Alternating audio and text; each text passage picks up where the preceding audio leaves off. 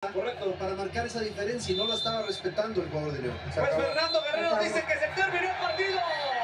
El club de fútbol América está en semifinales del fútbol mexicano. El primer invitado es el super líder del torneo regular con un partidazo de parte de Julián Quiñones, el jugador del partido.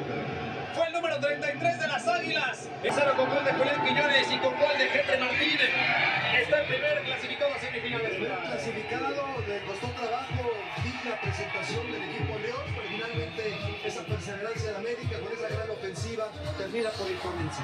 Sí, con- con- con- duda eh, Guille con relación a la falta dentro del área, si en una acción previa que fue checada por la gente del bar y la manera como lo termina tirando precisamente Quiñones.